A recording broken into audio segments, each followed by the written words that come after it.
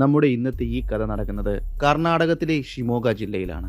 കർണാടകത്തിലെ ഷിമോഗ ജില്ലയിലെ രണ്ട് സ്ഥലങ്ങളാണ് തകൃത്തിയും ബെലന്തൂരും ഈ രണ്ട് സ്ഥലങ്ങളെ തമ്മിൽ വേർതിരിച്ചു നിർത്തുന്നത് വിശാലമായി കിടക്കുന്ന വനപ്രദേശമാണ്. ആ ഗ്രാമങ്ങളിലെ ജനങ്ങളുടെ ഉപജീവന മാർഗം കന്നുകാലികളെ മേയ്ക്കലും ആടുമേയ്ക്കലും ഒക്കെയാണ്. അതിന്റെ ഭാഗമായി അവിടുത്തെ പുൽമേടുകളിലും വന അതിർത്തിയിലുമൊക്കെ അവർ അവരുടെ കന്നുകാലികളെയും ആടുകളെയും മേയ്ക്കുവാൻ പോകാറുണ്ട്.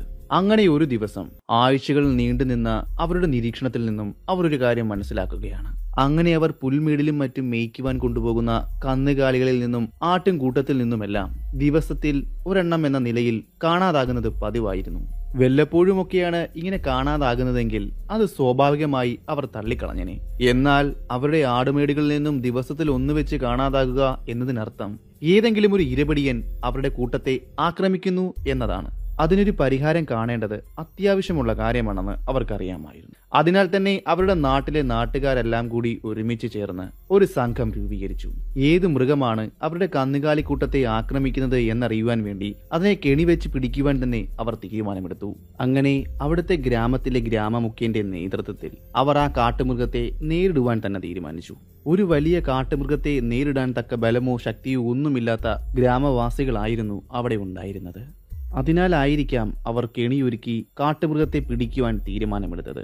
അതിന്റെ ഭാഗമെന്നോണം വനത്തിൽ നിന്നും ഗ്രാമത്തിലേക്ക് വരുന്ന കാട്ടുമൃഗം വരാനിടയുള്ള പാതയുടെ അരികിലായി അവർ കെണി തയ്യാറാക്കി. ആ ഭാഗത്തായി ഒരു വലിയ കുഴി നല്ല വാവിസ്താരമുള്ള വലിയ കുഴി അവർ കുഴിച്ചു. ആഴത്തിൽ. അതിനുശേഷം അതിന്റെ വാവിസ്താരത്തിൽ മൺതിട്ടകൾ അടിച്ചുറപ്പിച്ചു നല്ല ബലത്തെ. അങ്ങനെ അടിച്ചുറപ്പിച്ച മൺതിട്ടകൾക്ക് മുകളിലൂടെ വാഭാഗം മൂടുന്ന രീതിയിൽ ചുള്ളിക്കമ്പുകൾ തലങ്ങും വിലങ്ങും അവർ അടുക്കി. അതിന്റെ മുകളിൽ പുല്ലുകൾ കൊണ്ടും കരികൾ കൊണ്ടും മൂടി. അതിന്റെ മുകളിൽ അല്പം മണ്ണും വിതറി. അതിനുശേഷം കാട്ടുകമ്പുകൾ കൊണ്ട് ഒറ്റനോട്ടത്തിൽ അവിടെ അങ്ങനെ ഒരു കുഴി ഉള്ളതായി തോന്നുകയേയില്ല എന്ന രീതിയിലായിരുന്നു അവർ ആ കെണി അവിടെ ഒരുക്കിയത്. അതിനുശേഷം കെണിയുടെ മൂന്നു വശത്തും മുള്ളുകൾ കൊണ്ട് അതുവഴിയുള്ള സഞ്ചാരപാത അവർ മുടക്കി തടസ്സപ്പെടുത്തി. ആ കെണിയിലേക്കുള്ള ഒരു വഴി മാത്രം അവർ തുറന്നിട്ടു. അതിന്റെ അങ്ങേ തലപ്പിലായി ഒരാടിനെയും അവർ കെട്ടിയിട്ടു.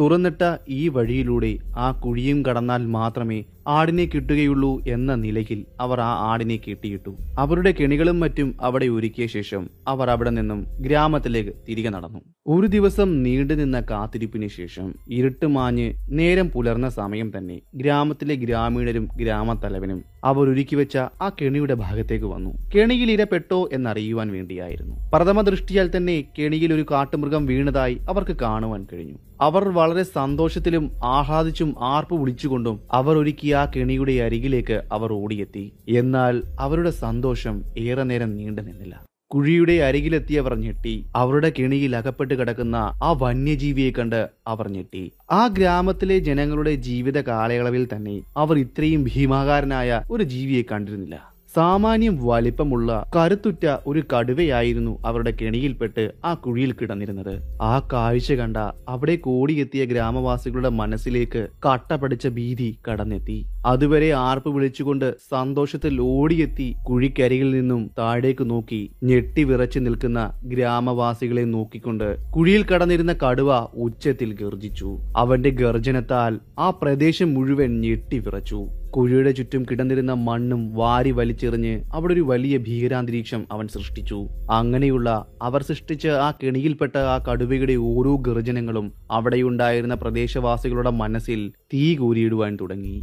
മറ്റൊന്നും കൊണ്ടായിരുന്നില്ല അവർ പേടിച്ചു വിറച്ചത്. ഇങ്ങനെയുള്ള ഈ കെണിയിൽ കിടക്കുന്ന ഈ കടുവയുടെ ഒച്ച കേട്ട് വനത്തിൽ നിന്നും വീണ്ടും കാട്ടുമൃഗങ്ങൾ ഇവിടേക്ക് വന്നാലോ എന്ന് കരുതിയാണ്. ഇങ്ങനെ ആപത്തിൽപ്പെട്ട മൃഗങ്ങളെ രക്ഷിക്കുവാൻ വേണ്ടി അവരുടെ വർഗത്തിൽപ്പെട്ട മറ്റു മൃഗങ്ങൾ അവരെ രക്ഷിക്കുവാൻ വരുന്നത് പതിവാണ്. ആനകളും മറ്റും ഇങ്ങനെ കെണിയിൽപ്പെടുമ്പോൾ അവയെ രക്ഷിക്കാൻ വരുന്ന മറ്റ് ആനകളെ അവിടുത്തെ ഗ്രാമീണർ കണ്ടിട്ടുള്ളതുമാണ്. അതിനാൽ തന്നെ എത്രയും പെട്ടെന്ന് തന്നെ ആ കെണിയിൽ പെട്ടുകിടക്കുന്ന ആ ക്രൂരനായ ആ കടുവയെ കൊന്നുകളയുവാൻ തന്നെ അവിടുത്തെ ഗ്രാമീണർ തീരുമാനിച്ചു. എന്നാൽ മറ്റൊരു പ്രശ്നം അവരെ അലട്ടി. ആ കടുവയെ വകവരുത്താൻ പോന്ന തരത്തിലുള്ള തോക്കുകളോ മറ്റോ അവിടെയുള്ള ഒരു ഗ്രാമീണന്റെ കയ്യിലും ആ സമയം ഉണ്ടായിരുന്നില്ല. അത്രയും ദാരിദ്ര്യം പിടിച്ച ഒരു ഗ്രാമമായിരുന്നു അത്. അതിനാൽ തന്നെ ആ കടുവയെ കൊല്ലുവാൻ വേണ്ടി അവർ പല പദ്ധതികളും തയ്യാറാക്കി. നീളമുള്ള കമ്പുകളിലും മറ്റും കൂർത്ത കമ്പുകൾ കെട്ടി അവനെ കുത്തി പരിക്കേൽപ്പിച്ച് കൊല്ലുവാനായിരുന്നു അവിടുത്തെ ഗ്രാമീണർ തീരുമാനിച്ചത്. അതിനുവേണ്ടി അവർ പല പണിയും നോക്കി. വലിയ കുഴിയിൽ വീണുകിടക്കുന്ന കടുവയുടെ നേരെ കൂർത്ത കമ്പികൾ വെച്ച് കുത്തുവാനും ആരംഭിച്ചു. കുത്തുകൊള്ളുന്ന കടുവ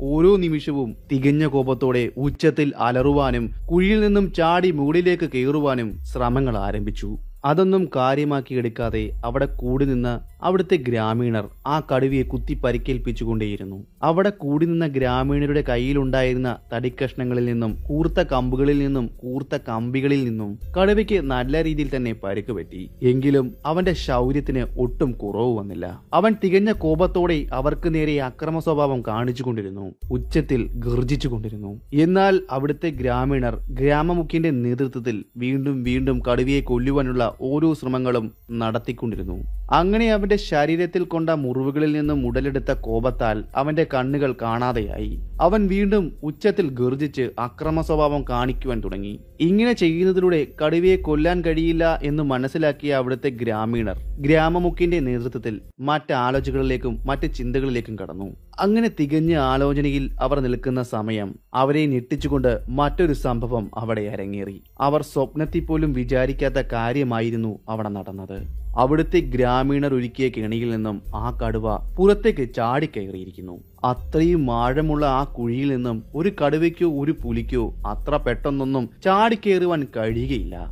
എന്നാൽ ഇവൻ എങ്ങനെയാണ് അവിടേക്ക് ചാടിക്കയറിയതെന്ന് ഒരു നിമിഷം അവർ ചിന്തിച്ചു. എന്നിട്ട് നാല് വഴിക്കും ചിതറിയോടി. അവിടെ കൂടി നിന്ന ഗ്രാമീണരുടെ ക്രൂരമായ പ്രവൃത്തികൾക്ക് ഇരയായി തീർന്ന ആ കടുവ തന്റെ കോപം കൊണ്ട് തന്റെ ശരീരം വില്ലുപോലെ വിളച്ച് അവന്റെ ശരീരഭാരം അവന്റെ പിൻകാലുകളിൽ കേന്ദ്രീകരിച്ച് ഒരു സ്പ്രിങ് പോലെ മുകളിലേക്ക് ഉയർന്നു ചാടി. തലപ്പൊക്കമുള്ള കൊമ്പന്മാരുടെ മസ്തകത്തിന് മുകളിലൂടെ ഉയർന്നു ചാടാൻ കഴിയുന്ന കടുവകളുടെ കഴിവുകളെ പറ്റി പറയേണ്ട കാര്യമില്ലല്ലോ. അത് തന്നെയായിരിക്കാം ഇവിടെയും നടന്നത്. പ്രതീക്ഷയുടെ അവസാന നുറുങ്ങുവെട്ടം നഷ്ടപ്പെട്ടതോടെ കുഴിയിൽ കിടന്നിരുന്ന കടുവ അവന്റെ സർവശക്തിയും എടുത്ത് ചാടി പുറത്തേക്ക് വന്നതായിരിക്കാം. ഇങ്ങനെയുള്ള സവിശേഷതകളാൽ തികച്ചും വ്യത്യസ്തരമാണ് കടുവകൾ. കണ്ണ് ചിമ്മി തുറക്കുന്ന സമയം മാത്രമേ എടുത്തുള്ളൂ കടുവ ചാടി കുഴിയുടെ മുകളിലേക്ക് എത്തുവാൻ. പിന്നെ ഉണ്ടായത് എന്താണെന്ന് പറയേണ്ട കാര്യമില്ലല്ലോ. ഉച്ചത്തിലുള്ള നിലവിളികളും കൂട്ടയോട്ടവുമാണ് അവിടെ നടന്നത്. അവിടെ കൂടി നിന്ന ഗ്രാമീണർ എങ്ങോട്ടെന്നില്ലാതെ നാലുപാടും ചിതറിയോടി. അങ്ങനെ ഉച്ചത്തിൽ അലറിക്കൊണ്ട് നാലുപാടും ചിതറിയോടുന്ന ഗ്രാമീണരെ കണ്ടായിരിക്കാം ഒരു നിമിഷം ആ കടുവ അവിടെ പതറി നിന്നത്. എന്താണ് സംഭവിക്കുന്നത് എന്നറിയാതെ ഒരു നിമിഷത്തേക്ക് അവൻ ചിന്താകുലനായി കാണണം. ഒന്ന് ഭയന്ന് കാണണം.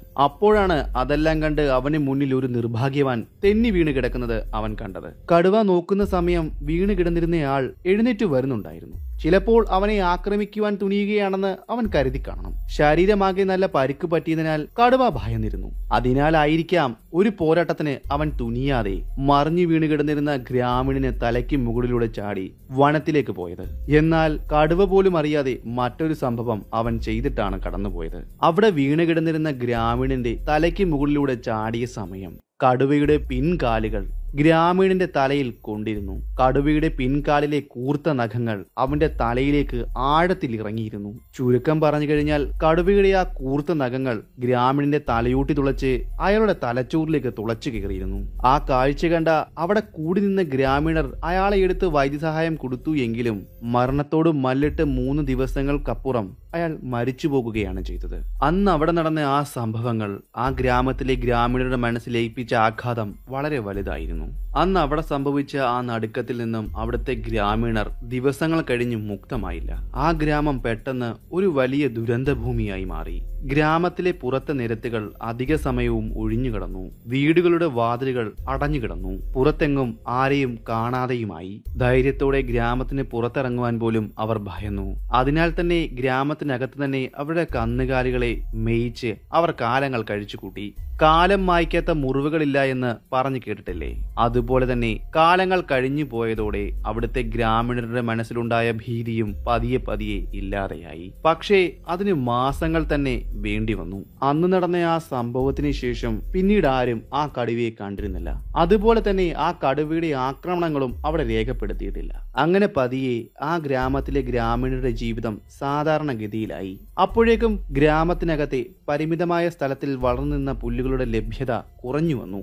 അതോടെ അവിടുത്തെ ഗ്രാമീണർ ഗ്രാമത്തിന് പുറത്തേക്ക് തങ്ങളുടെ ആടുമാടുകളെ മേയ്ക്കുവാൻ പോയി. പുൽമേടുകളിലും താഴ്വാരകളിലും കുന്നും പ്രദേശത്തുമായി അവർ അവരുടെ കന്നുകാലികളെ മേയിച്ചു നടന്നു. അങ്ങനെ ആഴ്ചകൾ കടന്നുപോയി. എല്ലാം വളരെ ശാന്തമായിരുന്നു. എന്നാൽ ആ ശാന്തത വരാനിരിക്കുന്ന കൊടുങ്കാറ്റിന് മുന്നേയുള്ള ശാന്തതയായിരുന്നുവെന്ന് അവിടുത്തെ ഗ്രാമീണർ അറിഞ്ഞിരുന്നില്ല. ഏറെ നാളുകളായി മനുഷ്യർക്ക് മുന്നിലും കന്നുകാലികൾക്ക് മുന്നിലും പ്രത്യക്ഷപ്പെടാതിരുന്ന ആ ക്രുദ്ധനായ കടുവ വീണ്ടും പ്രത്യക്ഷപ്പെട്ടു. ഗ്രാമത്തിലേക്ക് മരണത്തിന്റെ കറുത്ത ദിനങ്ങൾ കൊണ്ട് അവൻ ആ കുന്നിൻ പ്രദേശത്ത് പ്രത്യക്ഷപ്പെട്ടു. കുന്നിൻ ചെരുവിലെ വളർന്ന് വിശാലമായി കിടന്ന പുൽത്തകടിയിൽ മറഞ്ഞിരുന്ന കടുവ കന്നുകാലികളെ മേയിച്ചുകൊണ്ടിരുന്ന നല്ല ആരോഗ്യവാനായ ആ ആട്ടിടയനെ പിന്നിലൂടെ ആക്രമിച്ചു.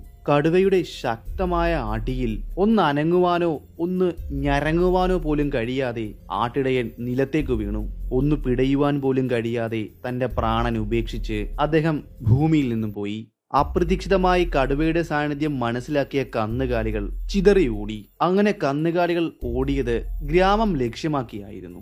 അങ്ങനെ ഗ്രാമത്തിലേക്ക് ഓടിയെത്തിയ കന്നുകാലികളിൽ ഒരു കന്നുകാലിയും കന്നുകാലികളെ മേയ്ക്കുവാൻ പോയ ഇടയനും എത്താത്തതിനെ തുടർന്ന് കാര്യത്തിലെ ദുരൂഹത മനസ്സിലാക്കിയ ഗ്രാമീണർ ആ സംഭവം തങ്ങളുടെ ഗ്രാമത്തലവനെ അറിയിക്കുകയും ഗ്രാമത്തലവന്റെ നേതൃത്വത്തിൽ ഒരു സംഘം ആളുകൾ തങ്ങളുടെ കയ്യിൽ കിട്ടിയ ആയുധങ്ങളുമായി കാണാതായ പശുവിനെയും ആട്ടിടയനെയും തിരക്കിയിറങ്ങി. അവർ പോയ ആ കുന്നിൻചെരിവ് ലക്ഷ്യമാക്കി അവർ ചെന്നു. ആ കുന്നിഞ്ചിരിവിലേക്ക് എത്തിയ അവർ കണ്ട കാഴ്ച ആ പുല്ലുകൾക്കിടയിൽ വാർന്നൊഴുകിക്കിടക്കുന്ന ചോരപ്പാടാണ്. അത് നീണ്ടുപോകുന്നത് അടുത്തുണ്ടായിരുന്ന ഒരു കുറ്റിക്കാടിനരികിലേക്കാണ് അവിടെ ചെന്നൈ അവർക്ക് കാണുവാൻ കഴിഞ്ഞത് കന്നുകാലി കൂട്ടത്തിൽ നിന്നും കാണാതായ കന്നുകാലിയെയും അതുപോലെ അതിനെ മേയ്ക്കുവാൻ പോയ ഇടയനെയുമായിരുന്നു അവർക്ക് അവിടെ കാണുവാൻ കഴിഞ്ഞത്. രണ്ടിനും ജീവൻ ഉണ്ടായിരുന്നില്ല എന്നാൽ കന്നുകാലിയെ കഴുത്തിൽ കടിച്ചു കുടഞ്ഞിട്ട രീതിയിലായിരുന്നു. എന്നാൽ അതിനെ കടുവ ഭക്ഷിച്ചിരുന്നില്ല. പക്ഷേ ഇടയന്റെ അരികിലേക്ക് പോയ ഗ്രാമീണർ ഞെട്ടി ഭയം കൊണ്ട് കിടുങ്ങി മുട്ടുകൾ തമ്മി കൂട്ടിയിടിച്ചു. അത്രയും വലിയ കന്നുകാലിയെ ഭക്ഷിക്കാത്ത കടുവ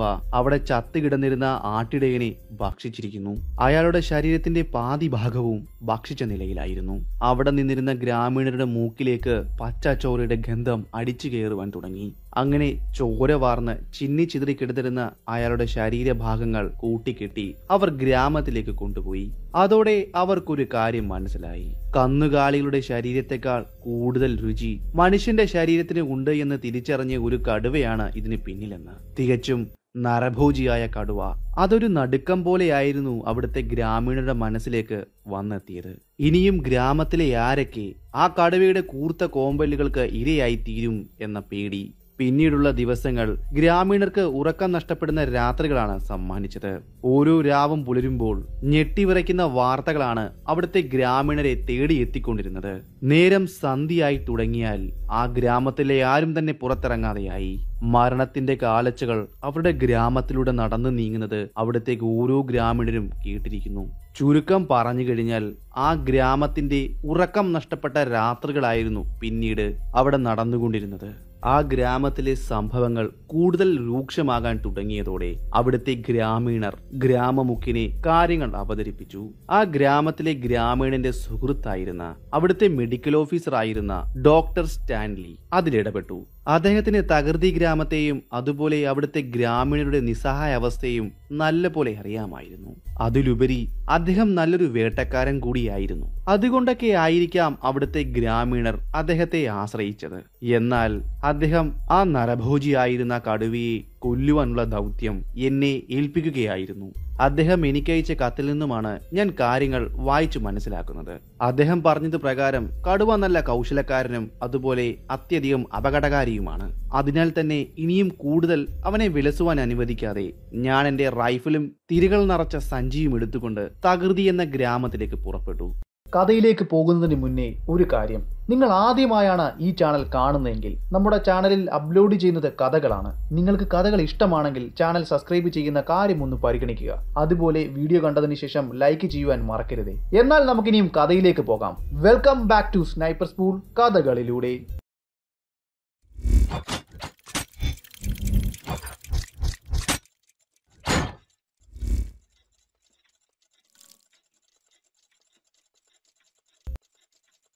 ഏകദേശം വൈകുന്നേരമായപ്പോഴാണ് ഞാൻ തകൃതി ഗ്രാമത്തിൽ എത്തിച്ചേർന്നത് പിറ്റേ ദിവസം ഞായറാഴ്ച ആയതുകൊണ്ട് തന്നെ എനിക്ക് ഗ്രാമം മുഴുവൻ ചുറ്റിക്കാണുവാൻ ഒരു അവസരം കിട്ടി. ഞാനും ഡോക്ടർ സ്റ്റാൻലിയും കൂടി ആ ഗ്രാമം മുഴുവൻ ചുറ്റിക്കറങ്ങി കണ്ടു. നരനായാട്ട് അരങ്ങേറിയ സ്ഥലങ്ങളെല്ലാം ഞാൻ സന്ദർശിച്ചു. പ്രദേശവാസികളോട് സംസാരിക്കുകയും ചെയ്തു. ഇങ്ങനെ ചുറ്റിക്കറങ്ങുന്നതും നാട്ടുകാരോട് സംസാരിക്കുന്നതുമെല്ലാം എനിക്ക് പിന്നീട് എപ്പോഴെങ്കിലും ഉപകാരപ്പെടും എന്നെനിക്ക് നല്ലപോലെ അറിയാമായിരുന്നു. എന്റെ കൂടെ ചുറ്റിക്കറങ്ങുന്ന ഡോക്ടർ സ്റ്റാൻലിയും ഒരു നായാട്ടുകാരനാണെന്ന് ഞാൻ നിങ്ങളോട് മുന്നേ പറഞ്ഞിരുന്നുവല്ലോ. അദ്ദേഹത്തിന്റെ ഔദ്യോഗിക തിരക്ക് മൂലം അദ്ദേഹത്തിന് നായാട്ട് ചെയ്യുവാൻ സമയം കിട്ടാറില്ല.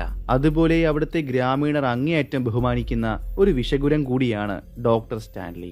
ഞാൻ എന്റെ എല്ലാ കഥകളിലും പറയുന്നത് പോലെ വനത്തിലൂടെയുള്ള എന്റെ യാത്ര ഞാൻ പൂർണമായും ആസ്വദിച്ചാണ് നടക്കുന്നത്.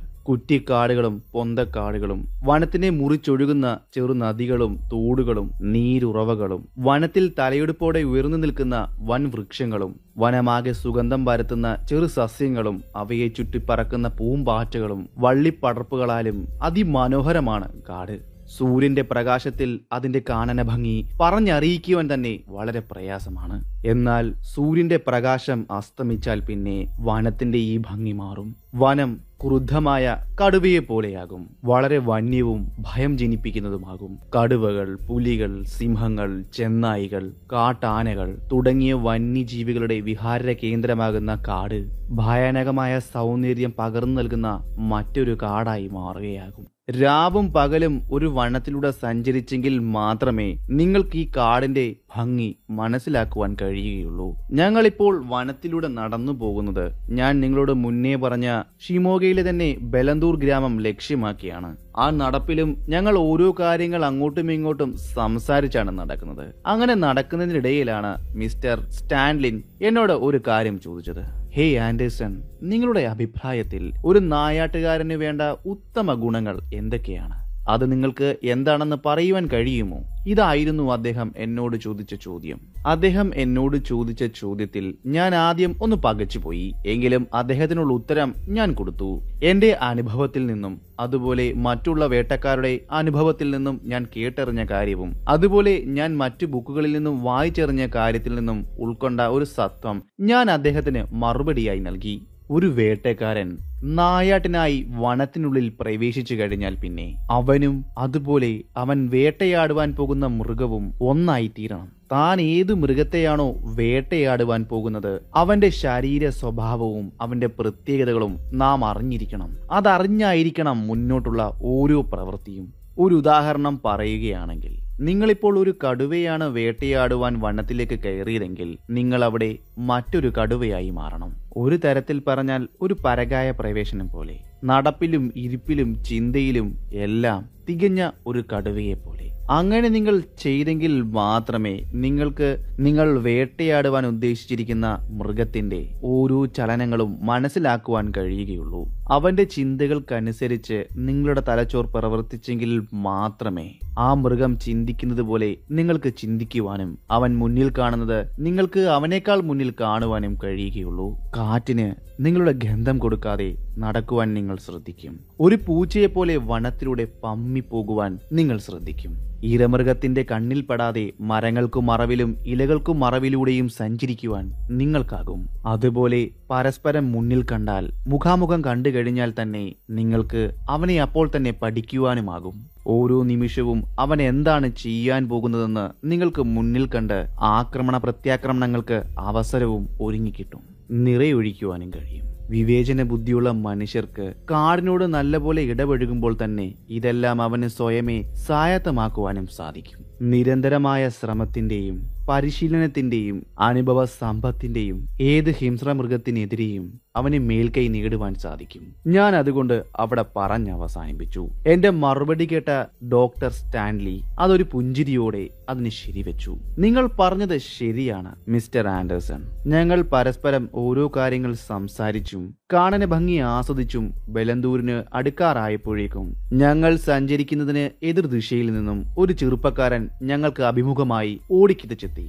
എന്റെ കൂടെ ഉണ്ടായിരുന്ന ഡോക്ടർ സ്റ്റാനിലെ കണ്ട അയാൾ അയാളുടെ ദുഃഖങ്ങളും സങ്കടങ്ങളും അദ്ദേഹത്തോട് കിതച്ച് കിതച്ച് പറഞ്ഞു. ഞങ്ങളുടെ അരികിലെത്തിയ ആ ചെറുപ്പക്കാരന്റെ സഹോദരനെ കടുവ പിടിച്ചു എന്നാണ് അദ്ദേഹം പറഞ്ഞത്. ഞങ്ങൾക്കരികിലെത്തിയ ആ ചെറുപ്പക്കാരന്റെ വീട് ഞങ്ങൾ നടന്നുപോയ ആ പാതയിൽ നിന്നും ഏതാനും വാര അകലെയാണ്. തകൃതിയിൽ നിന്നും പലവ്യഞ്ജനങ്ങൾ വാങ്ങിക്കുവാൻ പോയതായിരുന്നു തന്റെ സഹോദരൻ. വാങ്ങി മടങ്ങി വീടിനോടടുത്തപ്പോഴാണ് കടുവ അവനെ മുന്നിൽ പ്രത്യക്ഷപ്പെട്ടതും അവനെ ആക്രമിച്ചതും. അവന്റെ ഉച്ചത്തിലുള്ള നിലവിളി കേട്ടാണ് താനും തന്റെ ഭാര്യയും വീടിന് പുറത്തിറങ്ങി അവനെ നോക്കിയത്. എന്നാൽ അവർക്ക് അവനെ കാണുവാൻ കഴിഞ്ഞില്ല. അവിടേക്ക് ചെന്ന് നോക്കിയപ്പോൾ കാണുവാൻ കഴിഞ്ഞത് തറയിൽ ഇളകിക്കിടക്കുന്ന മണ്ണാണ്. അവിടെ പതിഞ്ഞിരിക്കുന്ന കാൽപ്പാടുകളാണ്. എന്താണ് സംഭവിച്ചിരിക്കുക എന്ന് അറിയുവാൻ വേണ്ടി അവർ അവിടെ നിന്ന് ചുറ്റും നോക്കിയ സമയം അവർക്ക് തൊട്ടടുത്ത് നിന്ന് എവിടെ നിന്നു ഒരു കടുവയുടെ ഉച്ചത്തിലുള്ള ഗർജനം അവർ കേട്ടു. ആ ഉച്ചത്തിലുള്ള ഗർജനം കേട്ടതോടെ താനും തന്റെ ഭാര്യയും തിരികെ വീട്ടിലേക്ക് ഓടുകയും കഥകടച്ച് അവിടെ ഇരിക്കുകയുമാണ് ചെയ്തത്.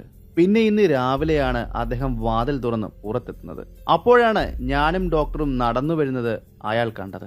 സംഭവം അറിഞ്ഞപ്പോൾ തന്നെ ഞാനും ഡോക്ടറും അയാളുടെ വീടിന്റെ പരിസരത്തേക്ക് പോയി. സംഭവം നടന്ന സ്ഥലത്തേക്ക് ചെന്നു. അവിടേക്ക് ചെന്ന ഞങ്ങൾ അക്ഷരാർത്ഥത്തിൽ ഞെട്ടി. ഞങ്ങളെ പ്രതീക്ഷിച്ചെന്ന പോലെ കടുവ അവിടെ ഇരിക്കുന്നുണ്ടായിരുന്നു. ഞങ്ങൾ എത്തിയ സമയം തന്നെ അവന്റെ സാന്നിധ്യം അറിയിച്ചുകൊണ്ട് അവനൊന്ന് മുരണ്ടു. ആ മുരൾച്ച കേട്ടപ്പോൾ തന്നെ ഞങ്ങൾക്ക് മുന്നിലായി നടന്നിരുന്ന ആ ചെറുപ്പക്കാരൻ ഓടി ഞങ്ങൾക്ക് പിന്നിലായി വിളിച്ചു. അവനെ ഞങ്ങൾ സുരക്ഷിതമായി അവന്റെ വീട്ടിലേക്ക് അയച്ചു. ആ കടുവ എവിടെയാണ് പതുങ്ങിയിരിക്കുന്നതെന്ന് ഞങ്ങൾക്ക് അറിയുവാൻ സാധിച്ചില്ല. അതിനാൽ തന്നെ ഞങ്ങൾ റൈഫിൾ നീട്ടിപ്പിടിച്ചു. ഞങ്ങൾ പുറത്തോട് പുറം ചേർന്ന് നിന്ന് രണ്ട് ദിക്കിലേക്ക് റൈഫിൾ ചൂണ്ടി. അങ്ങനെ റൈഫിൾ രണ്ട് ദിക്ക് ലക്ഷ്യം വെച്ച് ഞങ്ങൾ പതിയെ മുന്നിലേക്ക് നീങ്ങി. ഞങ്ങളുടെ വരവ് കടുവ കണ്ടു കാണണം. അവൻ ഞങ്ങളുടെ ഓരോ നീക്കങ്ങളും സൂക്ഷ്മമായി നിരീക്ഷിച്ചുകൊണ്ട് എവിടെയോ പതുങ്ങിയിരിക്കുകയായിരിക്കണം. അവൻ സ്ഥിരമായി കണ്ടു പരിചയപ്പെട്ട ഗ്രാമീണരിൽ നിന്നും തികച്ചും വ്യത്യസ്തരാണ് ഞങ്ങളെന്ന് അവന് തോന്നിക്കാണണം.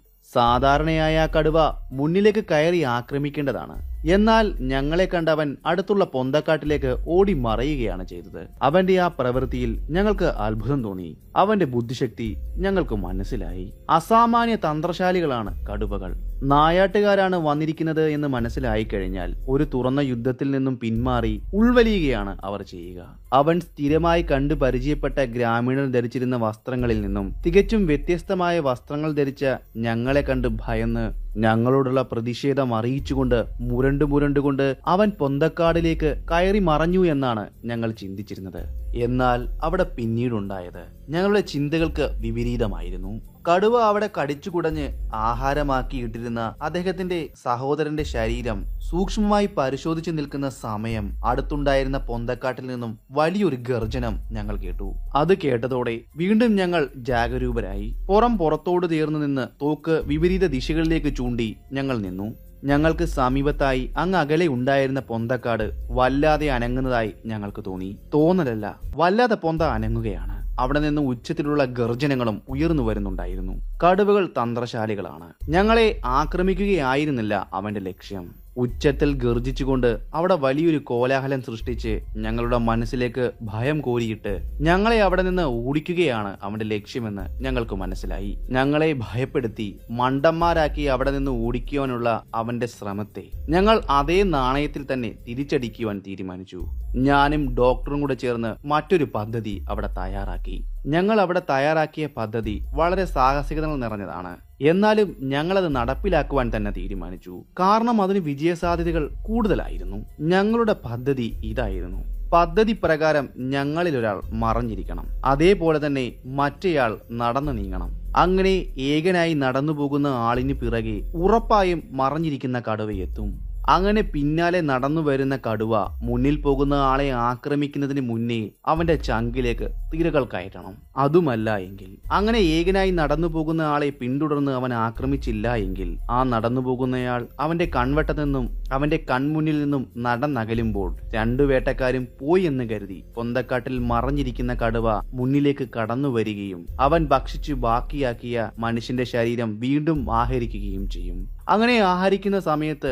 പറ്റിയ സ്ഥലത്ത് എവിടെയെങ്കിലും മറഞ്ഞിരുന്ന് അവന് നേരെ ലക്ഷ്യം വെച്ച് വെടിയുതിർക്കുവാനും സാധിക്കും. ഞങ്ങൾ പദ്ധതികളെല്ലാം തയ്യാറാക്കിയ ശേഷം മുന്നിലേക്ക് നടന്നു നീങ്ങുവാൻ സമ്മതം മൂളിയത് ഡോക്ടർ സ്റ്റാൻലി ആയിരുന്നു. ഞാൻ സമീപമുണ്ടായിരുന്ന ഒരു മരത്തിന് മറവിൽ ഒളിച്ചിരിക്കുകയും വേണം. ഞങ്ങളുടെ പദ്ധതി പ്രകാരം ഡോക്ടർ മുന്നിലേക്ക് നടന്നു. ഞാൻ അടുത്തുണ്ടായിരുന്ന ഒരു വലിയ മരത്തിന്റെ മറവിൽ മറഞ്ഞിരിക്കുകയും ചെയ്തു. ഞങ്ങൾ ചിന്തിച്ചതുപോലെ തന്നെയാണ് അവിടെ നടന്നത്. മുന്നിലേക്ക് ഏകനായി നടന്ന ഡോക്ടറെ പിന്തുടർന്നുകൊണ്ട് വളരെ നിശബ്ദനായി ആ കടുവ പൊന്തക്കാട്ടിൽ നിന്നും ഇറങ്ങി പിന്തുടരുവാൻ ആരംഭിച്ചു. അതെല്ലാം ഞാൻ മരത്തിനു മറവിൽ മറഞ്ഞിരുന്ന് ശ്വാസം അടക്കി പിടിച്ച് നോക്കി നിന്നു. അതോടൊപ്പം തന്നെ കടുവയുടെ ചലനത്തിനനുസരിച്ച് എന്റെ റൈഫിലും അവന് നേരെ നീങ്ങിക്കൊണ്ടിരുന്നു. കടുവ അവനെ പിന്തുടരുന്നതിന്റെ ബോധം ഡോക്ടർ സ്റ്റാൻലിക്കും ഉണ്ടായിരുന്നു. കടുവ മറ്റൊന്നും ശ്രദ്ധിക്കാതെ ഡോക്ടർ സ്റ്റാൻലിയെ മാത്രം ലക്ഷ്യമിട്ടുകൊണ്ട് അദ്ദേഹത്തിന്റെ പിന്നാലെ പമ്മി നടന്നു. അവന്റെ തൊട്ടുപിറകിൽ ഞാൻ പതിയിരിക്കുന്ന കാര്യം അവൻ അറിയില്ലല്ലോ.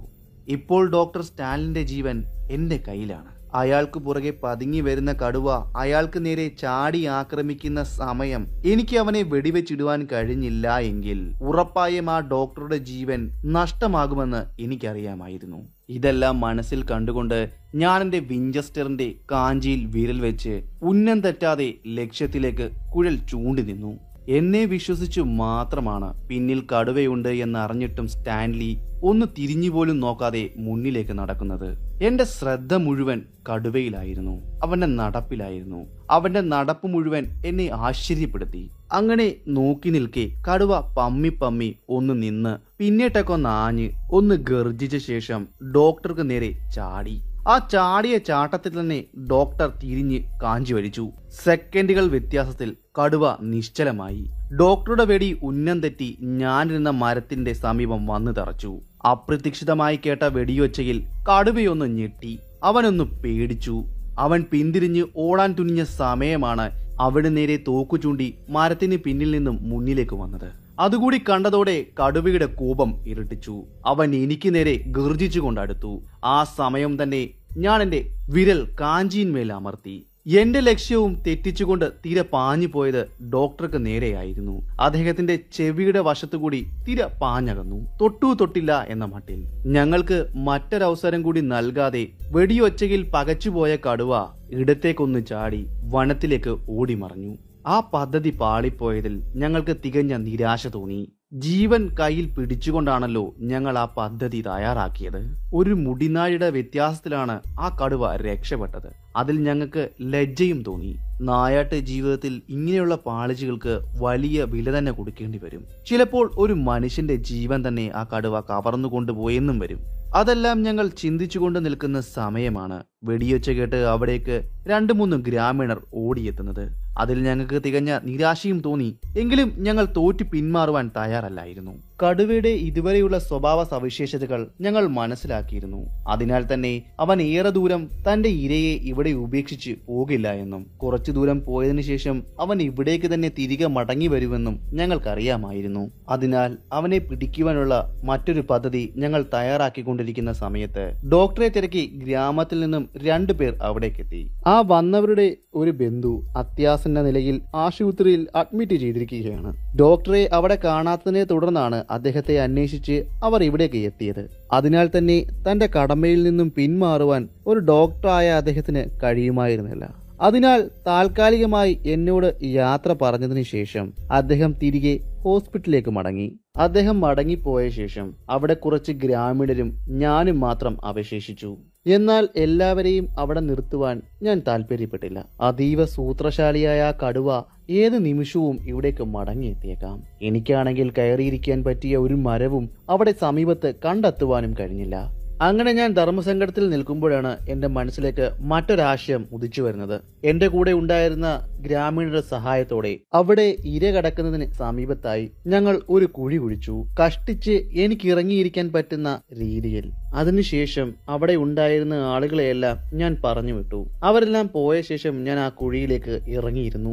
അപ്പോഴേക്കും നേരം വൈകിയിരുന്നു. കൃത്യമായി എനിക്കിറങ്ങി കടക്കാൻ പാകത്തിനാണ് അവർ കുഴി വെട്ടിയിരുന്നത്. ആ കുഴിയിൽ എന്റെ കാലുകൾ നീട്ടിവെച്ച് ഞാൻ മുകളിലേക്ക് നോക്കി. അപ്പോഴേക്കും അവിടെ ഇരുൾ വ്യാപിച്ചു കഴിഞ്ഞിരുന്നു. കറുത്ത മേഘങ്ങൾ ആകാശത്തിലൂടെ അതിവേഗം നീങ്ങിപ്പോകുന്നത് എനിക്ക് കാണുവാൻ കഴിഞ്ഞു. സത്യം പറഞ്ഞാൽ ഞാൻ ആ കുഴിയിലേക്ക് ഇറങ്ങി കടന്നതിന് ശേഷം ഒരു ഇഞ്ച് സ്ഥലം പോലും ബാക്കിയുണ്ടായിരുന്നില്ല. ആ കുഴിക്ക് അല്പം ആഴം മാത്രമേ ഉണ്ടായിരുന്നുള്ളൂ. വീതിയും നീളവും തീരെ ഉണ്ടായിരുന്നില്ല. അതിനാൽ തന്നെ എന്റെ കിടപ്പ് സൗകര്യപ്രദവുമായിരുന്നില്ല. അല്പം ബുദ്ധിമുട്ടിയാണെങ്കിലും അവിടെ ഞാൻ കിടന്നു. അവനെ പ്രതീക്ഷിച്ച്. അങ്ങനെ ഓരോ കാര്യങ്ങൾ ചിന്തിച്ചു കിടക്കുന്ന സമയത്ത് എന്റെ മുകളിൽ നിന്നും എന്തോ ഒരു ശബ്ദം ഞാൻ കേട്ടു. ശബ്ദം കേട്ടപ്പോൾ തന്നെ എന്റെ കൈ റൈഫിളിൽ അമർന്നു മുറുക്ക പിടിച്ചു. എന്റെ ശരീരം ഒരു ആക്രമണത്തിന് സജ്ജമായി. ഞാൻ തല ചെവിയൊന്ന് വട്ടം പിടിച്ചു. കരിയിലകൾ ഞെരിഞ്ഞമരുന്ന ശബ്ദമാണ് ഞാൻ കേട്ടത്. ഞാൻ പ്രതീക്ഷിച്ചതുപോലെ തന്നെ അവൻ മടങ്ങിയെത്തിയിരിക്കുന്നു അങ്ങനെ ഞാൻ സന്തോഷിച്ചു നിൽക്കുന്ന സമയമാണ് ഒരു ഞെട്ടലോടെ ഞാനൊരു കാര്യം ഓർത്തത് എന്റെ മനസ്സിലേക്ക് കടന്നു വന്നത്. ഇനിയും ഞാൻ കുഴിയിൽ പതുങ്ങിയിരിക്കുന്ന കാര്യം അവൻ അറിഞ്ഞു കാണുമോ? ഞാൻ കുഴിയിലേക്ക് ഇറങ്ങി കിടക്കുന്നതുമെല്ലാം അവൻ എവിടെയെങ്കിലും മറഞ്ഞിരുന്ന് കണ്ടു കാണുമോ? അങ്ങനെ കണ്ടു എങ്കിൽ എല്ലാത്തിനും ഒരു തീരുമാനമുണ്ടാകാൻ അധിക സമയമൊന്നും വേണ്ട. കുഴിക്കുള്ളിൽ ഞാനുണ്ട് എന്ന വിവരം അവൻ അറിഞ്ഞു കഴിഞ്ഞാൽ ശരിക്കും കുഴിയിലാകാൻ പോകുന്നത് ഞാനായിരിക്കും എന്ന ചിന്തകളെല്ലാം എന്നെ വല്ലാതെ അലട്ടി. സത്യം പറഞ്ഞു കഴിഞ്ഞാൽ അവൻ പിടിച്ചിട്ട ഇരയുടെ അരികിലേക്ക് അവൻ മടങ്ങി വരുന്ന സമയം. കുഴിയിൽ ഇരുന്നു കൊണ്ട് അവനെ വെടിവെച്ചു കൊല്ലാം എന്ന പദ്ധതിയിലായിരുന്നല്ലോ ഞാൻ ഈ കുഴി ഒരുക്കിയിരുന്നത്. തുടക്കത്തിലെ തന്നെ അവൻ കുഴി കണ്ടുപിടിച്ചു കഴിഞ്ഞാൽ എല്ലാം അവതാളത്തിലാകുകയും ചെയ്യും. ഞാൻ കുഴിയുടെ മുകളിലേക്ക് കണ്ണുകൾ ഇമചിമ്മാതെ പിടിച്ച് തിളങ്ങുന്ന രണ്ട് കണ്ണുകൾക്ക് വേണ്ടി കാത്തിരുന്നു. അങ്ങനെ ഞാൻ അവിടെ കാത്തിരുന്ന സമയം എന്നെ നടുക്കിക്കൊണ്ട് ഇരുളിന്റെ മറ പറ്റി നീങ്ങുന്ന ആ കറുത്ത രൂപം ഞാൻ കണ്ടു. അതെന്നെ വല്ലാതെ ഞടുക്കിക്കളഞ്ഞു. ഒരു വലിയ രാജവമ്പാല അവൻ കുഴിയുടെ സമീപത്ത് എത്തി നിൽക്കുന്നു. കുഴിയുടെ സമീപത്തൂടെ ഇഴഞ്ഞു നീങ്ങിയ രാജവമ്പാല കുഴിയുടെ വക്കിൽ വന്ന് നിൽക്കുകയാണ്. അവൻ ഏത് സമയവും ഈ കുഴിയിലേക്ക് ഇറങ്ങി വന്നേക്കാം. അങ്ങനെ അവൻ ഈ കുഴിയിലേക്ക് ഇറങ്ങി വന്ന് എന്നെ ദംശിക്കുകയാണെങ്കിൽ ഈ കുഴിയിൽ തന്നെ കിടന്ന് ഞാൻ ചത്തുപോകുമല്ലോ എന്ന് ഓർത്തപ്പോൾ എന്റെ സഹല നാഡീവ്യൂഹങ്ങളും തളർന്നുപോയി. ഞാൻ കിടക്കുന്ന കുഴിയിലേക്ക് രാജവമ്പാല ഇഴഞ്ഞു വരുന്നത് പ്രതീക്ഷിച്ചിരുന്ന എനിക്ക് ഇടയ്ക്കിടയ്ക്ക് തെള്ളി വരുന്ന രാജവമ്പാലയുടെ നാക്ക് കാണുവാൻ കഴിയുമായിരുന്നു. അല്പസമയം കൂടി ആ രാജവമ്പാല ആ കുഴിയുടെ അരികിൽ അങ്ങനെ നിന്നിട്ട് അവൻ തിരിഞ്ഞ് ഇഴഞ്ഞു നീങ്ങി അങ്ങ് പോയി. ആ കാഴ്ച കണ്ടപ്പോഴാണ് എനിക്ക് ജീവൻ നേരെ വീണത്. ആ ആശ്വാസത്തിൽ ഞാൻ നിവർന്നു കിടന്നു. ഞാൻ ആ കിടപ്പ് എത്ര നേരം തുടർന്നുവെന്ന് എനിക്ക് മനസ്സിലാക്കുവാൻ കഴിഞ്ഞില്ല. അപ്പോഴേക്ക് എന്റെ ഇരു കാര്യങ്ങളും മരവിച്ചു തുടങ്ങിയിരുന്നു. ഞാൻ വീണ്ടും മുകളിലേക്കൊന്ന് നോക്കി. അപ്പോഴേക്കും ചുറ്റുപാടും ഇരുട്ട് വന്ന് വ്യാപിച്ചു കഴിഞ്ഞിരുന്നു. അപ്പോൾ തന്നെ കുഴിയിലേക്ക് ഞാനൊന്ന് എണ്ണീറ്റിരിക്കുവാൻ ഒരു ശ്രമം നടത്തി. അപ്പോൾ തന്നെ എന്റെ ചെവിയിലേക്ക് മറ്റ് ശബ്ദങ്ങൾ വന്നു വീണു. അത് കേട്ടപ്പോൾ തന്നെ ഞാൻ ചെവി ഒന്നുകൂടി വട്ടം വെച്ചു. എല്ലുകൾ കടിച്ചു പൊട്ടിക്കുമ്പോഴുണ്ടാകുന്ന ശബ്ദമാണെന്ന് എനിക്ക് മനസ്സിലായി. ഞാൻ സംശയിച്ചത് ശരിയാണ്. കടുവ അവിടേക്ക് മടങ്ങി വന്നിരിക്കുന്നു. വീണ്ടും അവന്റെ ഇരമൃഗത്തെ അവൻ ഭക്ഷിക്കുവാൻ ആരംഭിച്ചിരിക്കുന്നു. ഇനിയും കടുവ തന്നെ ആയിരിക്കുമോ അത്? ഇനിയും കഴുതപ്പുലി വല്ലതും ആകുമോ? അതും കൂട്ടത്തോടെയാണെങ്കിൽ കാര്യം തീർന്നു. അവനെ എത്ര ആട്ടി അകറ്റിയാലും അവൻ എത്ര ദൂരം ആട്ടിപ്പായിച്ചാലും അവൻ വീണ്ടും വീണ്ടും അവന്റെ ഇരയുടെ അരികിലേക്ക് തിരികെ എത്തും. അതിക്രൂരന്മാരായ കാട്ടുമൃഗങ്ങളാണ് കഴുതപ്പുലികൾ. എന്തായാലും ഞാൻ കുഴിയിൽ മുട്ടുകുത്തി നിന്ന് പതിയെ അവിടേക്ക് എത്തി നോക്കി ചുറ്റുപാടും ഒന്ന് നിരീക്ഷിച്ചു. ആപത്ത് എവിടെയെല്ലാമാണ് പതുങ്ങിയിരിക്കുന്നതെന്ന് അറിയുവാൻ വേണ്ടിയായിരുന്നു അത്. അങ്ങനെ ചുറ്റുപാട് നിരീക്ഷിച്ച എന്റെ ദൃഷ്ടിയിൽ പതിഞ്ഞ കാഴ്ചകൾ അതിഭയാനകമായിരുന്നു. രണ്ട് കടുവകൾ ഒരു കടുവ അവിടെ നിന്ന് ഇരയെ ഭക്ഷിക്കുന്നു. മറ്റേത് അത് നോക്കി നിൽക്കുന്നു. അങ്ങനെ ഞാൻ നോക്കി നിന്ന സമയം നോക്കി നിന്ന കടുവ ഉച്ചത്തിലൊന്നും മുരണ്ടു. വിശപ്പിന്റെ കാഠിന്യത്തിലായിരിക്കാം. അത് കേട്ട സമയം ആഹാരം കഴിച്ചുകൊണ്ടിരുന്ന കടുവയുടെ സ്വഭാവവും മാറി. അവനുമൊന്നും മുരണ്ടു. അതിനുശേഷം അവന്റെ ഇരയെ അവിടെ ഇട്ട ശേഷം അവൻ മറ്റേ കടുവയുടെ നേരെ തിരിഞ്ഞു. ഉച്ചത്തിൽ ഗർജിച്ചു അവന് മേൽ ചാടി വീണു. പിന്നെ എന്നിൽ നിന്നും അധിക ദൂരമല്ലാതെ ഞാൻ കണ്ട കാഴ്ച അതിഭയാനകമായിരുന്നു. രണ്ട് കടുവൾ തമ്മിലുള്ള ഏറ്റുമുട്ടൽ. അതെങ്ങനെയാണ് വർണിക്കുക എന്ന് അറിയില്ല. കാടിന്റെ ശക്തി വിളിച്ചോതിക്കൊണ്ട് തന്നെ ശക്തരിൽ ശക്തരായ രണ്ട് കടുവൾ തമ്മിലുള്ള ഏറ്റുമുട്ടലായിരുന്നു അത്. പോരാട്ടത്തിനിടയിൽ അവ ഉച്ചത്തിൽ ഗർജിക്കുകയും പോർ വിളിക്കുകയും ചെയ്യുന്നുണ്ടായിരുന്നു. പരസ്പരം ആഞ്ഞു മാന്തുകയും ചെയ്യുന്നുണ്ടായിരുന്നു. അങ്ങനെ അവ പരസ്പരം ചവിട്ടിയും മാന്തിയും തെള്ളിയും ഉന്തിയും കടിച്ചുമെല്ലാം ഞാനിരിക്കുന്ന കുഴിയിൽ നിന്നും എനിക്ക് മുന്നിലുണ്ടായിരുന്ന കാട്ടിലേക്ക് പതിയെ നീങ്ങി നീങ്ങിപ്പോയി. പതിയെ കടുവയുടെ മുരൾച്ചയും നേർത്ത് നേർത്ത് പോയി. അതിഭയാനകമായ കാഴ്ച എന്റെ കൺമുന്നിൽ നിന്നും മറയാതെ ഞാൻ ആ കുഴിയിൽ തന്നെ കാത്തുനിന്നു. എന്റെ റൈഫിളിന്റെ കുഴൽ ആ വനത്തിലേക്ക് ചൂണ്ടിയാണ് ഞാൻ കിടക്കുന്നത്. പോരാട്ടത്തിൽ ജയിക്കുന്ന കടുവ ഇരയുടെ ഭാഗത്തേക്ക് തിരികെ വരും. അങ്ങനെ തിരികെ വരുന്നവനെ വകവരുത്താം എന്ന ചിന്തയിലാണ് ഞാൻ കാത്തിരുന്നത്. അങ്ങനെ എന്റെ കാത്തിരിപ്പ് നീണ്ടുപോയി. നേരം വെളുക്കുവാൻ അധിക സമയമില്ല എന്ന ബോധ്യം എനിക്ക് വന്നു. രണ്ടിൽ ഏതെങ്കിലും ഒരു കടുവ ഇവിടേക്ക് മടങ്ങി വന്ന് ആ ഇരയുടെ മാംസം ഭക്ഷിക്കും എന്ന എന്റെ പ്രതീക്ഷ ഏതാണ്ട് അസ്തമിച്ചു. പക്ഷേ ഈ സമയത്ത് കുഴിയിൽ നിന്നും പുറത്തിറങ്ങുന്നത് ഒട്ടും ബുദ്ധിയുമല്ല. അപകടങ്ങൾ നമ്മൾ പ്രതീക്ഷിക്കാത്ത പല ഇടങ്ങളിലായി പതുങ്ങിയിരിക്കുകയായിരിക്കാം. അതിനാൽ തന്നെ നേരം പുലരുന്നതുവരെ ഈ കുഴിയിൽ തന്നെ ഇരിക്കാമെന്ന് ഞാൻ ചിന്തിച്ചു. അങ്ങനെ ഞാൻ ആ കുഴിയിൽ തന്നെ കിടന്നു. അങ്ങനെ ഞാനിരിക്കുന്ന കുഴിയുടെ സമീപത്ത് നിന്നും അല്പം ദൂരെ ഗ്രാമത്തിലെ ഏതോ ഒരു കുടിലിൽ നിന്നും വലിയ ഉച്ചയും അലർച്ചയും ഒക്കെ കേൾക്കുവാൻ തുടങ്ങി. അതിൽ നിന്നും ഗ്രാമത്തിൽ എന്തോ വലിയ അപകടം നടന്നതായി എനിക്ക് മനസ്സിലായി. ഞാൻ കണ്ട നരഭോജികളായ ആ കടുവകളിൽ ഏതോ ഒന്ന് ഗ്രാമത്തിലേക്ക് കടന്ന് അക്രമം നടത്തിയിരിക്കുന്നു. ഇവിടെ നിന്ന് എഴുന്നേറ്റ് പോകുവാനും എന്റെ മനസ്സ് എന്നെ അനുവദിക്കുന്നില്ല. ഞാനിപ്പോൾ ഗ്രാമത്തിലേക്ക് ചെന്നാലും ഒരു രക്ഷപ്പെടുത്തൽ സാധ്യമാകുകയില്ല. കടുവ ഞാൻ ചെല്ലുന്നതിന് മുന്നേ തന്നെ ഇരയെ കടിച്ചു തൂക്കി വനത്തിലേക്ക് പോയിട്ടുണ്ടാകും. അതുമല്ല എങ്കിൽ ഞാൻ ഇവിടുന്ന് കുഴിയിൽ നിന്നും ഇറങ്ങുന്ന സമയത്ത് രണ്ട് കടുവകളിൽ ഏതെങ്കിലും ഒന്ന് ഇവിടെ എവിടെയെങ്കിലും പതുങ്ങിയിരിക്കുകയാണ് എങ്കിൽ അതെനിക്ക് നേരെ ആക്രമണം അഴിച്ചുവിടും. അത് വലിയ ആപത്തായിരിക്കും ഉണ്ടാക്കാൻ പോകുക എന്നും എനിക്കറിയാമായിരുന്നു. അതിനാൽ തന്നെ പുലരും വരെ കാത്തിരിക്കുവാൻ ഞാൻ തീരുമാനിച്ചു. നേരം പുലർന്ന സമയം തന്നെ ഞാൻ കുഴിയിൽ നിന്നും കയറി ഗ്രാമത്തിന്റെ കുടിലുകൾക്കരികിലേക്ക് നടന്നു ചെന്നു. ഞാൻ അവിടേക്ക് ചെന്ന സമയം ഒരു കുടിലിന് മുന്നിൽ ഒരു ഭാര്യയും ഭർത്താവും ഭയം കൊണ്ട് പേടിച്ചു വിറച്ച് നിൽക്കുന്നുണ്ടായിരുന്നു. ബാക്കി അവിടെയുള്ള ഗ്രാമീണരെല്ലാം വീടിന് പുറത്തിറങ്ങാതെ അവരുടെ ജനാലയിൽ നിന്ന് പുറത്തേക്ക് കാഴ്ചകൾ നോക്കി നിൽക്കുന്നുമുണ്ടായിരുന്നു. നേരത്തെ കടുവ കടിച്ചു കൊന്ന സഹോദരന്റെ ഭാര്യയാണ് ഇന്ന് കടുവ കടിച്ചു കൊണ്ടുപോയിരിക്കുന്നത്. അവൾ തനിച്ച് പനമ്പ് ചുവരിനോട് ചേർന്ന് കിടക്കുകയായിരുന്നു. ഇരുളിൽ എവിടെ നിന്നോ പ്രത്യക്ഷപ്പെട്ട കടുവ അവളെ അവളെ ഇട്ട് കടിച്ചു കീറി അവളുടെ മുഖവും ശരീരവുമെല്ലാം വരഞ്ഞു കീറി ആകെ വികൃതമാക്കുകയും ചെയ്തു. ഇന്നലെ രണ്ട് കടുവകൾ തമ്മിലുണ്ടായ പോരാട്ടത്തിനൊടുവിൽ അവ തിരിഞ്ഞു മടങ്ങവേ ആയിരിക്കണം ഈ സാധുവിനെ അവർ കണ്ടു കാണുക പനമ്പ് ചുവരിന്റെ അരികിൽ കിടന്നുറങ്ങിയ അവരെ പുറമെ നിന്ന് ആ കടുവ കണ്ടു കാണണം. അങ്ങനെ അവരെ കണ്ട സമയം പനമ്പിന്റെ വിടവിലൂടെ കടന്നു ചെന്നായിരിക്കാം അവരെ അവൻ ആക്രമിച്ച് അതിക്രൂരമായി കൊന്നത്. കടുവയുടെ അതിക്രൂരമായ ആക്രമണത്തിലുള്ള നിലവിളി കേട്ടായിരിക്കാം സഹോദരനും സഹോദരന്റെ ഭാര്യയും ഇറങ്ങി വന്നത്. അവർ അവിടെ കിടന്ന് ഉച്ചത്തിൽ നിലവിളിച്ചുവെങ്കിലും അവളുടെ ജീവൻ രക്ഷിക്കുവാൻ അവർക്ക് സാധിച്ചില്ല. ഇരയുടെ കഴുത്ത് കടിച്ചു കുടഞ്ഞ് ഇരയെ കൊന്നുവെങ്കിലും ഇരയെ എടുക്കാതെ പോയതിനാൽ തന്നെ തിരികെ ഏത് സമയവും ഇവിടേക്ക് കടുവ തിരികെ എത്തും എന്ന ഭീതിയിൽ ഭാര്യയും ഭർത്താവും മുറിക്കുള്ളിൽ തന്നെ അടച്ചിരുന്നു. ഞാൻ ആ മൃതദേഹം പരിശോധിച്ചു നിൽക്കുന്ന വേളയിൽ തന്നെ ഡോക്ടർ സ്റ്റാൻലിയും അവിടേക്ക് മടങ്ങിയെത്തി.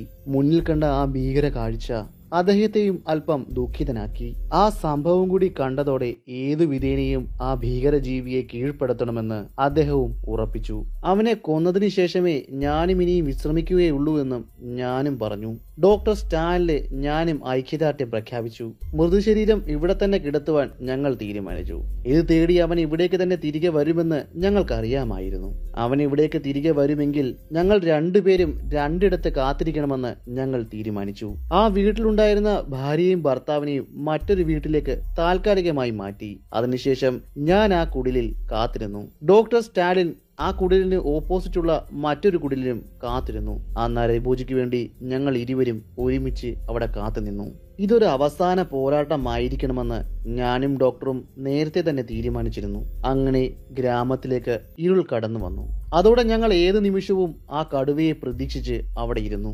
ഞാനും ഡോക്ടറും ചെവി വട്ടം പിടിച്ച് കടുവയുടെ കാൽപതന ശബ്ദം കേൾക്കുവാൻ കാത്തുനിന്നു സാധാരണയായി രാത്രിയുടെ ഒന്നാം യാമം അവസാനിക്കുമ്പോൾ തന്നെ ഇര തേടി ആ കടുവ എത്തേണ്ടതാണ്. അതുകൊണ്ട് തന്നെ ഞാൻ ആ ചോര വാർന്ന് കിടന്നിരുന്ന ശവശരീരത്തിന് അരികിലായി നീണ്ടു നിവർന്നു കിടന്നു. ഇപ്പോൾ എനിക്ക് ആ പനമ്പ് വിരിയുടെ വിടവിലൂടെ കടുവ വരികയാണെങ്കിൽ അവനെ വ്യക്തമായി കാണുവാൻ കഴിയും. അതിനാൽ അവിടേക്ക് എന്റെ റൈഫിൽ ചൂണ്ടിയാണ് ഞാൻ കിടക്കുന്നത്. എവിടെ വെച്ച് കണ്ടാലും ഏത് പൊസിഷനിൽ കണ്ടാലും വെടിവെക്കുവാൻ തന്നെയായിരുന്നു എന്റെ തീരുമാനം. ഏകദേശം ഒരു മണിക്കൂറുകൾ കടന്നുപോയി. ജീവൻ പോയിട്ട് മണിക്കൂറുകളായ ശവശരീരത്തിനൊപ്പം കടക്കുന്ന എന്റെ അവസ്ഥ നിങ്ങളൊന്ന് ചിന്തിച്ചു നോക്കിയേ. സമയം കടന്നു പോകുന്തോറും മനുഷ്യരക്തത്തിന്റെ രൂക്ഷമായ ഗന്ധം എന്റെ മൂക്കിലേക്ക് തുളച്ചു കയറുവാൻ തുടങ്ങി. അങ്ങനെ ഞാൻ തികച്ചും അസ്വസ്ഥമായി കിടക്കുന്ന സമയമാണ് അത് സംഭവിച്ചത്. മരിച്ചു കിടന്നിരുന്ന ആ സ്ത്രീയുടെ ഒരു കാൽ എന്നെ തൊട്ടുരുമി കടന്നുപോയി. ഞാൻ ശരിക്കും ഒന്ന് ഞെട്ടി. മണിക്കൂറുകൾക്ക് മുമ്പ് മരിച്ചുപോയ സ്ത്രീയുടെ ശവശരീരമാണ്. ഞാൻ ചുറ്റുപാടും ഒന്ന് നിരീക്ഷിച്ചു. ഇരുളിൽ കടുവ വന്നതിന്റെ യാതൊരു ലക്ഷണവുമില്ല. ഒരു ഇലി അനക്കം പോലും ഞാൻ കേട്ടതുമില്ല. പിന്നെ എന്താണ് സംഭവിച്ചതെന്ന് അറിയുവാൻ വേണ്ടി ഇരുട്ടിലൂടെ ഞാൻ പതിയെ ആ മൃതദേഹത്തിന്റെ മുകളിലൂടെ ഒന്ന് കൈ ഓടിച്ചു. അങ്ങനെ കൈകൾ ഓടിച്ച സമയം എന്റെ വിരലുകൾ വന്ന് സ്പർശിച്ചത് കുറച്ച് രോമം നിറഞ്ഞ ഒരു പ്രതലത്തിലായിരുന്നു. പെട്ടെന്ന് ആ ജന്തു കൈ പിൻവലിച്ചു. ഒപ്പം ഞാനും. പിന്നെ കേട്ടത് ഉച്ചത്തിലുള്ള വലിയ ഗർജനവും പാൻപുമറ കടിച്ചു കീറി ഉള്ളിലേക്ക് കടന്നു കയറുവാൻ നോക്കുന്ന ആ കടുവയുടെ രണ്ട് തീ കണ്ണുകളുമായിരുന്നു ഞാൻ എന്റെ റൈഫിളിൽ ഘടിപ്പിച്ച ടോർച്ച് അവിടേക്ക് പ്രകാശിപ്പിച്ചു. അതിന്റെ പ്രകാശത്തിൽ ഞാൻ കണ്ട കാഴ്ച നടക്കുന്നതായിരുന്നു. പനമ്പ് കീറി ഉണ്ടാക്കിയ വിടവിലൂടെ തല ഉള്ളിലേക്കിട്ട് എന്റെ അരികിലേക്ക് എത്തുവാൻ ശ്രമിക്കുന്ന ആ ഭീകരമായ ആ ജന്തുവിന്റെ മുഖമാണ്. പിന്നെ കാത്തിരിക്കുന്നത് ആത്മഹത്യാപരമാണെന്ന് എനിക്ക് തോന്നി. അതുകൊണ്ട് തന്നെ ഞാൻ അവന്റെ ഇരു കണ്ണുകൾക്കും നടുവിലേക്ക് എന്റെ തോക്കു ചൂണ്ടി നിറയൊഴിച്ചു. അതിനോടൊപ്പം തന്നെ ഇടതുവശത്തേക്ക് ചാടി മറിഞ്ഞതും ഒരുമിച്ചായിരുന്നു. തിര തറച്ചു കയറിയ കടുവ ഞാനിരുന്നിടം ലക്ഷ്യമാക്കി കുതിച്ചു ചാടി. അവൻ എനിക്കരികിലേക്ക് കുതിച്ചു ചാടി വന്ന സമയം ഒഴിഞ്ഞുമാറി ഞാൻ അവന്റെ ശരീരത്തിലേക്ക് രണ്ട് തവണ കൂടി നിറയൊഴിച്ചു. എന്റെ തിരകൾ ശരീരത്തിൽ ഏറ്റുവാങ്ങി. ചലനമറ്റ് അവൻ നിലം കുത്തി ഞാൻ ടോർച്ച് അവിടേക്ക് പ്രകാശിപ്പിച്ചു. അവന്റെ ചലനം പൂർണമായും നിലച്ചിരുന്നു. എന്റെ ആദ്യ തിര തന്നെ അവന്റെ തലയോട്ടി തകർത്ത് അവന്റെ തലച്ചോറ് പുറത്തു കൊണ്ടുവന്നിരുന്നു. അതോടെ ആ കുടിലിൽ രക്തത്തിന്റെ രൂക്ഷഗന്ധം കൂടി വന്നു. എനിക്ക് ശ്വാസം മുട്ടുന്നത് പോലെ തോന്നി. ഞാൻ പെട്ടെന്ന് കുടിലിന്റെ വാതിൽ തുറന്ന് പുറത്തേക്ക് ചാടി അല്പം ശുദ്ധവായു ശ്വസിക്കുവാൻ വേണ്ടി. അക്ഷരാർത്ഥത്തിൽ ഞാൻ ചാടിയ സമയം ഞെട്ടി വിറച്ചു. ഞാൻ കണ്ട കാഴ്ച എനിക്ക് നേരെ കുതിച്ചു ചാടുവാൻ നിൽക്കുന്ന മറ്റൊരു കടുവയായിരുന്നു. സമചിത്തത വീണ്ടെടുത്ത ഞാൻ ആ കടുവയുടെ നേരെ എന്റെ റൈഫിൽ ചൂണ്ടി കാഞ്ചി വലിക്കാൻ ഒരുങ്ങിയ സമയം. മറ്റൊരു കുടിലിന്റെ മുന്നിൽ നിന്നും ഡോക്ടർ സ്റ്റാൻലി ഉറക്ക വിളിച്ചു പറഞ്ഞു വെടിവെക്കേണ്ട അവൻ ചത്ത് കിടക്കുകയാണ്. സംശയത്തിൽ ഞാൻ അവിടേക്ക് ടോർച്ച് പ്രകാശിപ്പിച്ചു. സ്റ്റാൻലി പറഞ്ഞത് ശരിയാണ്. അവൻ അന്ത്യശ്വാസം വലിക്കുകയാണ്. ഞാനും സ്റ്റാൻലിയും ഒരേ സമയമാണ് വെടികൾ ഉതിർത്തത്. അതുകൊണ്ടാണ് സ്റ്റാൻലി വെച്ച വെടി ഞാൻ കേൾക്കാതിരുന്നത്. എന്തായാലും ഇരു കടുവകളുടെയും ശരീരം ഞങ്ങൾ വിശദമായി പരിശോധിച്ചു. ഞാൻ വെടിവെച്ചത് ഒരു പെൺകടുവയായിരുന്നു. സത്യത്തിൽ ആ പെൺകടുവ മാത്രമായിരുന്നു നരഭോജി. എന്തായാലും ഇരു ഗ്രാമങ്ങളെയും മാസങ്ങളായി വിറപ്പിച്ചു നിർത്തിയ നരവേട്ടയ്ക്ക് അവസാനം കുറിച്ചുകൊണ്ട് ഡോക്ടർ സ്റ്റാൻലി എനിക്ക് ഹസ്തദാനം നൽകി. വീണ്ടും ആ ഗ്രാമത്തിലെ ഭയവും പേടിയും അകന്നു പോയിരിക്കുന്നു. അവരെ ഇത്രയും കാലം ഭയത്തിന്റെയും മരണത്തിന്റെയും നിഴലിൽ നിർത്തിയിരുന്ന കടുവകളെ ഞങ്ങൾ കൊന്നു തള്ളിയിരിക്കുന്നു. നമ്മുടെ ഇന്നത്തെ കഥ ഇവിടം കൊണ്ട് അവസാനിക്കുകയാണ്. ഞാൻ ഇന്ന് പറഞ്ഞ ഈ കഥ നിങ്ങൾക്ക് ഇഷ്ടമായെങ്കിൽ ചാനൽ സബ്സ്ക്രൈബ് ചെയ്യുന്ന കാര്യം ഒന്ന് പരിഗണിക്കുക. അതുപോലെ നിങ്ങളുടെ ഇഷ്ടം കമന്റിലൂടെയും ലൈക്കിലൂടെയും അറിയിക്കുക. പുതിയൊരു വീഡിയോയുമായി ഞാൻ അടുത്ത ദിവസം വരുന്നതായിരിക്കും. അതുവരെ ഗുഡ് ബൈ.